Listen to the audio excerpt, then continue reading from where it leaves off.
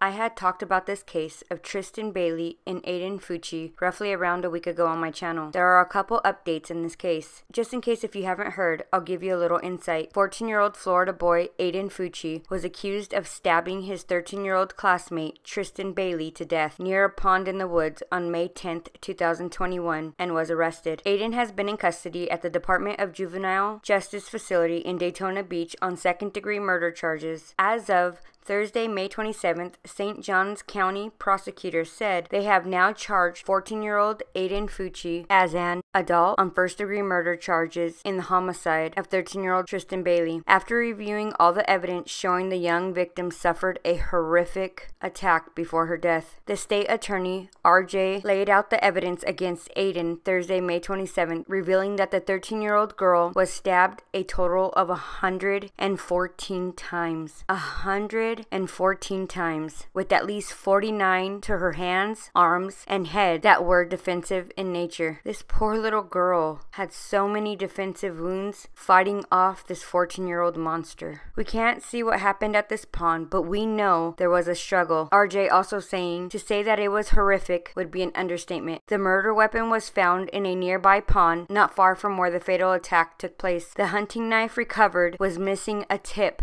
and that piece was found in Bailey's body.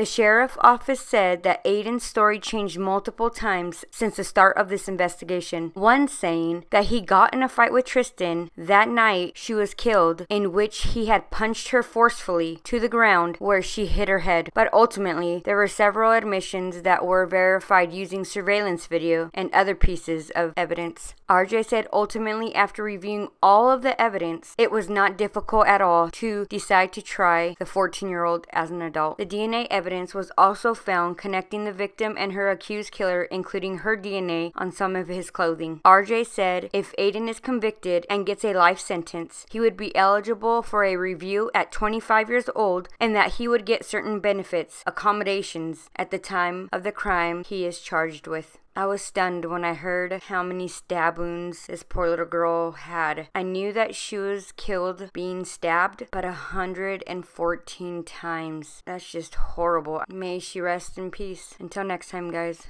Bye.